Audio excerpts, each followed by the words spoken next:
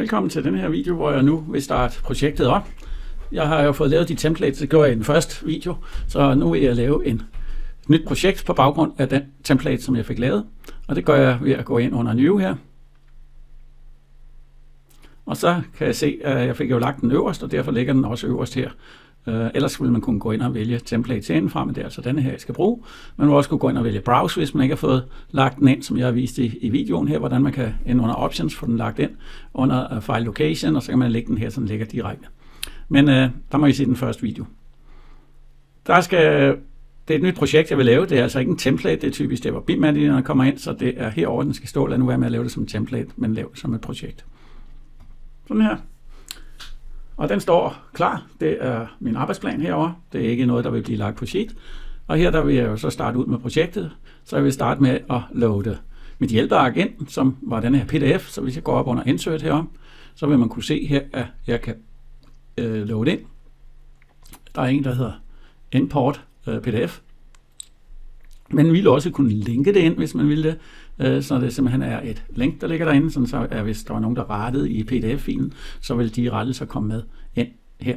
Det kunne jo være, at bygherrer for eksempel havde adgang til den her, man delte på den måde, så kunne der eventuelt komme nogle informationer ind den vej fra.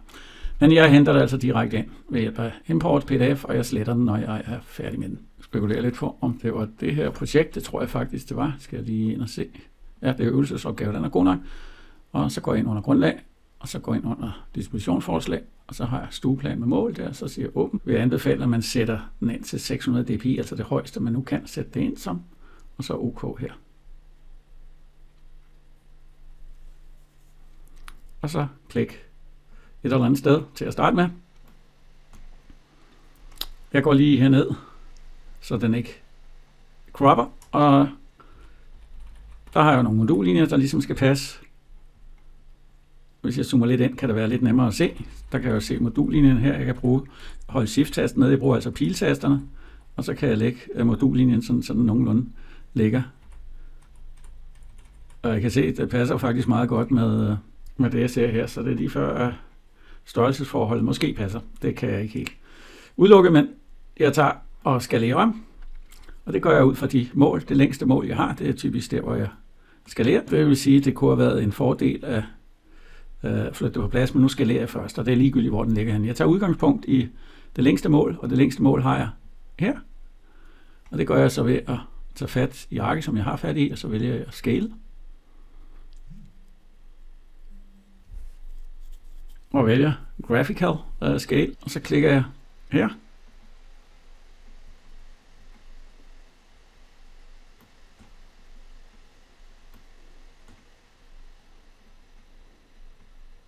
Og der skal jeg så lige huske øh, 14.508. Zoomer ind her og rammer nogenlunde. Og så skriver jeg så målet. Jeg også zoom ind, så 14.508. Det ændrer sig lidt, men ikke meget. Jeg tager lige et tjekmål, og så ser jeg, om øh, det passer. Så jeg tager lige og måler her, så fat i den her som ikke sætter målet, så kan jeg måle nogenlunde herfra. Nej, jeg tror, jeg tager det mål der. Der. Så måler jeg op. Og så kan jeg se, rammer det nogenlunde de 8400, og det gør det. Så skalaen den er nok acceptabel. Nu ligger det jo rigtigt nok på denne her, men øh, jeg kan se, at modullinjen passer ikke rigtig her, så jeg tager lige fat. Og så flytter jeg denne her vej, så modullinjerne, de, der hvor de skærer hinanden, og de nogenlunde ligger ens. Jeg zoomer lidt ind her. Den her. Når jeg så har placeret det her, så låser jeg det lige ved at pinpointe der. Sådan der. Og så gider jeg måske ikke ramme det, det vil sige hernede, der har jeg et lille filter, og der slår jeg øh, det til, sådan så at jeg ligesom fjerner, det bliver et rødt kryds, og det vil sige, så rammer jeg ikke min pdf-fil øh, derinde, man kan ramme noget af det andet, som ikke er pinpointet. Det næste, jeg så vil, det er at tegne en modullinje. Den skal jo ligge nogenlunde herover. Det gør jeg ikke så meget, at den ikke bliver helt nøjagtig. Gå ind og vælge øh, Grid. Og så tegner jeg herover. Og man kan se, at man rammer ligesom den gridlinje, når den rammer den, så ved den, hvor den er, så jeg går herover og siger, at det er nok nogenlunde her. Ja.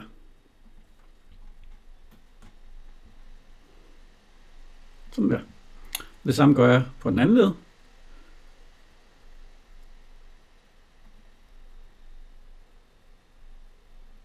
Og når den flugter, så kommer der sådan en linje, den låser sig fast, sådan så at hvis jeg vil ændre på denne her, altså flytte frem og tilbage, så følger de med. Det samme herover, så kan jeg også ændre, så følger det med, hvis jeg ellers lige kunne ramme den der, der man skal lige ramme, så følger det med. Det kunne I nok ikke se, men jeg kan lige prøve igen. Se, ja, det følger med. Når den hedder 1, så følger vi selvfølgelig standarden, så skal den hedde 2, og den her hedder A, så skal den der hedde B. Nu er der ikke specielt mange modullinjer her, så det betyder ikke det helt store, øh, øh, hvordan man retter det, men jeg vil sådan set godt lige øh, vise en måde at gøre det på, og det er typisk, at man kan gå ind og lave noget renumber herinde, så jeg kan gå ind og markere modullinjer, og det vil jeg lige vise jer, så jeg markerer lige alle modullinjerne sådan her, og så går jeg op under jeg slår lige denne her fra i øvrigt, fordi der er nogle af modullinjer. Modullinje A, de er typisk pinpointed. Så nu tager jeg lige og markerer sådan her, så skulle jeg gerne have fat i alle modullinjer. Felter, check none, og så grids, og så OK. Så lægger jeg, dukker den her op, lægger jeg mærke til, at det er N10 for Revit, jeg bruger her til den, og så går jeg ind og klikker her. Havde man nu mange modullinjer, så ville det jo være en fordel at øh, bruge den her, når man siger, det er ikke nogen fordel, når det er så få modulinjer, jeg skal rette, men det er også mere for ligesom at vise, hvordan det kan gøres. Det kan både bruges til grid og til level. Jeg går herind og vælger for eksempel de vertikale linjer her, og de vertikale linjer skal jo hedde 1 og 2, og der kan man altså gå ind her. Nu står der 01, men øh, da jeg ikke har så mange, så vil jeg bare sige new value 1, og så sige renumber.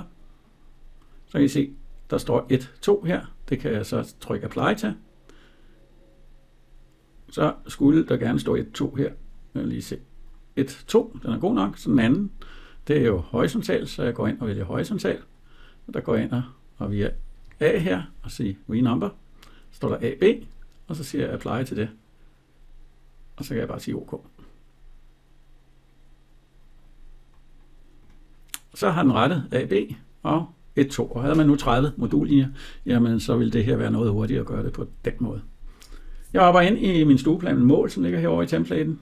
Og det gør jeg, fordi lige så snart jeg øh, kan komme til, for det første skal jeg vurdere, øh, passer det på et sheet, og i det her tilfælde, der passer det altså i 1 til 50, og det ligger nogenlunde på sheetet, som det skal gøre, så det er jo fint nok.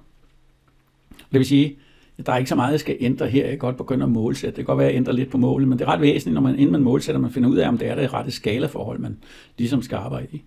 Fordi hvis det ikke er det rette skalaforhold, så vil der ret hurtigt ændre på den måde, det ser ud, når man målsætter. Jeg starter med at målsætte øh, modullinjerne og tjekke, om øh, de mål stemmer overens med det tegningsgrundlag, jeg har fået. Og jeg kan se, at den siger 13.800. Jeg hopper lige ind i min arbejdsplan, og så kan jeg se modullinje afstand 13.800. Den er god nok, og den anden skulle være 8.400, og det tjekker jeg så også lige, at det er. Så det er, som det skal være. Hvis det nu ikke passede, hvis det målet var skævt, jamen, så tager man fat i den modullinje her. Man flytter ikke de derovre, øh, og det er også svært at flytte dem, fordi de er pinpointet. Og grunden til, at de ligger her, det hænger faktisk sammen med, at hvis man går ind og lige kigger på pæren her, så vil man se, der ligger øh, et øh, nulpunkt, internal region, det er der med pilen. Så ligger der, det er lidt svært at se, at de bliver ikke større, jeg zoomer ind, så ligger der et trekantsymbol, som er øh, survey point, og så der er et rundt symbol med kryds i, som er project base point, og de har hver deres funktion. Internal origin, den bliver, hvor den er. Så det er, hvad skal man sige, det fastlåste nulpunkt. Survey point er ofte et punkt, der bliver flyttet i forhold til Project Base Point, sådan så at man kan arbejde med lokale koordinater i det land, øh, man nu skal bruge, eller i forhold til øh, det koordinatsæt, som man øh, nu bruger data fra. Det har meget at gøre med, man kan sige, terrænmodellen og nogle af de her ting, der kommer fra dataforsyningen. Der er noget koordinatsæt, der bliver koordineret med formand, når vi laver terrænmodellen, så der vil jeg komme mere ind på den del af det. Jeg slukker for koordinatsættet, og så er jeg sådan set øh, klar til at gå i gang med at projektere. Det første, jeg skal finde ud af, hvad er det for en væg, jeg ligesom skal bruge. Og når jeg skal lave en væg, så er der nogen, der ligger derinde i forvejen. Til det her projekt, jamen, der gør det ikke helt så meget, om man får valgt forkert, men det er alligevel en god idé at finde ud af, hvad er det for nogle materialer, øh, man skal bruge. Og det projektforslag, eller det dispositionsforslag, jeg har, der er ikke rigtig taget højde for materialerne, det er jo bare nogle sorte tegninger, det må man også kunne se herinde. Der, den siger ikke meget om det. Men øh, på nuværende tidspunkt ved jeg, at det er øh, mursten, øh, det skal bygges i, og det vil sige, så skal det jo gå op i, i murmål, og så jeg hopper ind i mit målsat plan her, og så hopper jeg op under wall. Og inde under wall, der er der, i hvert fald i den her template, der ligger der nogen, øh, noget murværk. Hvor meget isolering skal der så i? Ja, det kommer jo lidt an på, hvordan man nu tilgår projektet, og hvilket øh, uværdi man gerne vil opnå. Som tommelfingerregler, der er jeg at sige, at en god idé er måske at holde sig til en uværdi, når det drejer sig om nybyggeri, på cirka det halve af de krav, der er i bygningsreglementer, og bygningsreglementer foreskriver for eksempel en uværdi på en ydervæg på 0,3 watt per kvadratmeter Kelvin. Og hvis det, vi tager det halve af det, så er det 0,15. Og det burde vi kunne klare med en ydervægt på omkring 400 mm. Så jeg tænker, at jeg tager udgangspunkt i en, der er her, som består af noget beton. Og så kan man så sige, om det er bæredygtigt. Ja, det kommer jo lidt an på, hvordan man regner på det. det en tung bygning kan være rimelig bæredygtig i forhold til energirammen, i hvert fald sådan som man regner i øjeblikket. Så set over en, en 50-100-årig periode, så kan det godt være, at den kan udkonkurrere øh, træ med hensyn til det, man sparer i energi. Men det kommer også an på bygningens øh, andre funktioner. Men i det her tilfælde tager jeg udgangspunkt i 100 mm øh, beton, og så er der noget isolering og et hulrum, og så det vil se nogenlunde ud som øh, der her. Så må man jo tjekke efter. Den bliver nok lidt over. Den bliver nok lidt større end, end 0,15. Men til gengæld så ligger jeg mere isolering i taget, og ligger der mere isolering i terrændækket, så sørger for, at kuldebroerne bliver minimeret, så det tab, jeg har igennem væggen, får jeg hurtigt hentet ind.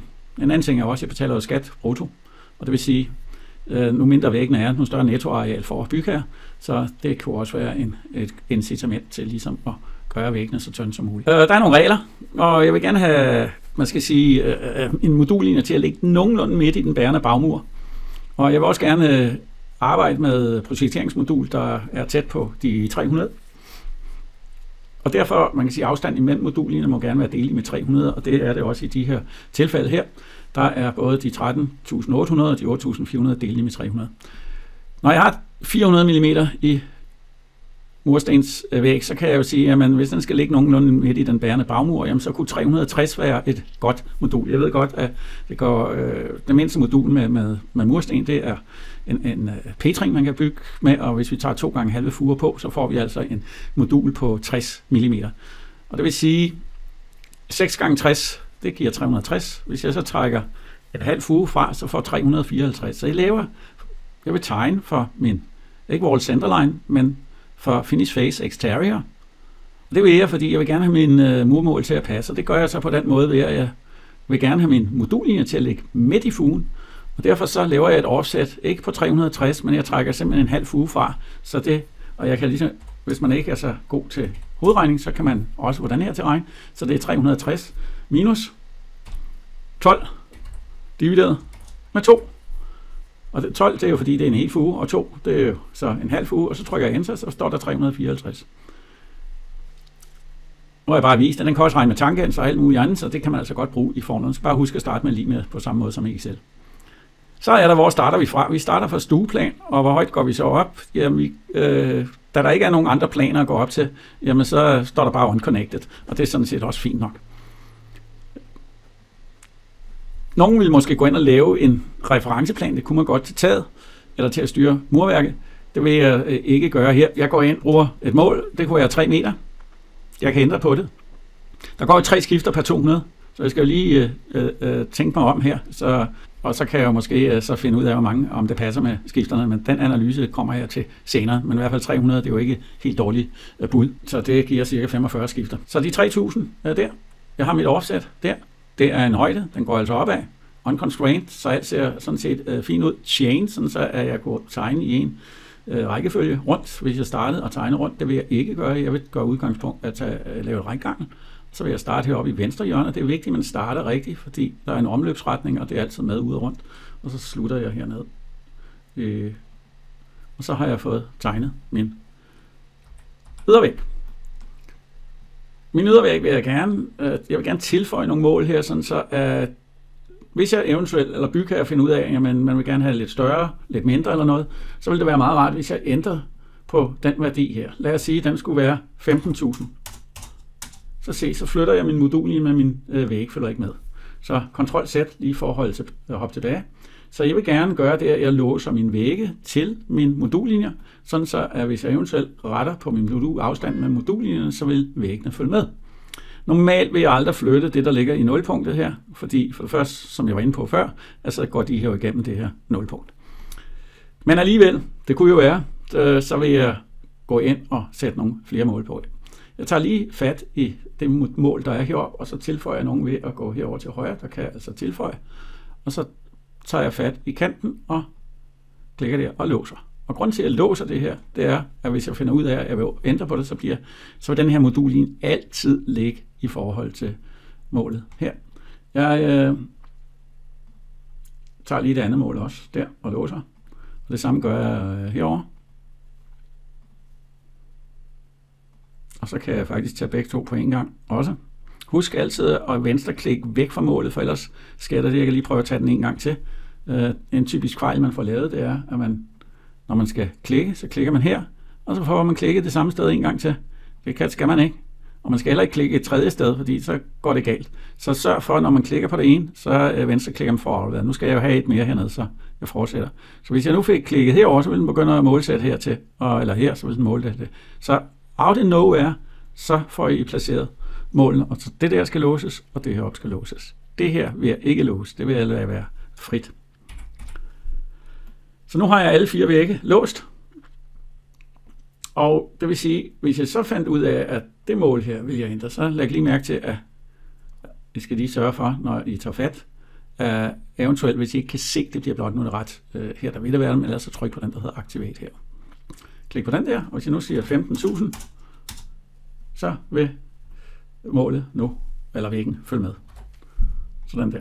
Normalt arbejder man jo også, man har lige et mål. Normalt, øh, så, så altså når, jeg, når jeg er målsat på den, så vil det være øh, murmål. Og derfor tager jeg lige og målsætter totalmålene også. Entire walls kan den stå til. Øh, hvis jeg havde sat alle mulige vinduer og døre ind, så ville den også kunne øh, målsætte dem. Men nu tager jeg, det kommer jeg ind på lidt senere, jeg tager bare de her øh, vægge totalmål. Den, jeg plejer at sige, at hvis man starter udefra, og så arbejder sig ind, så bliver kompleksiteten af målene, altså antallet af mål, bliver større og større. Og derfor er det en god idé at starte udefra, placere målene, og så er der en afstand, og man, den afstand er indbygget i øh, Revit og kan jo øvrigt øh, ændres. Og man, man kan ligesom se, at den rammer, og det vil sige, at den afstand i forhold til mit skalaforhold, som vi har hernede, den vil være cirka 1 cm. Så når man øh, rammer det, så venstreklikker man der, går jeg herned og tager det også herover, og så flytter jeg det ud. Og så kan man se, der er lige noget med modullinjen, der ikke helt øh, passer i forhold til målet.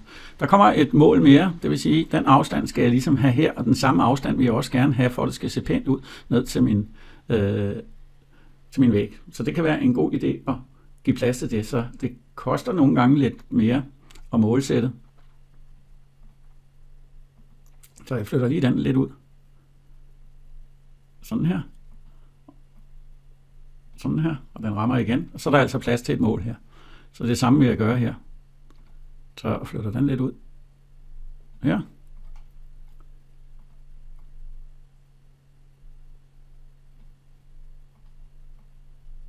Og så ligesom den snapper til den afstand. Så nu er der altså også plads til noget mål øh, her, og vi begynder at sætte vinduer og døre i. I næste video vil jeg komme lidt ind på øh, at oprette nogle sheets, for det, det gør vi, øh, tænker jeg, det kan være en god idé at oprette øh, sheetsene øh, relativt hurtigt, når man så får lagt sine tegninger på sheets, fordi man finder ud af, at det nu passer i forhold til skalaforhold, så er der nogle ting omkring det, der hedder øh, scopeboxes, jeg lige vil komme ind på, øh, også i den forbindelse der. Så det var, hvad jeg vil vise i denne her video. På gensyn i den næste video.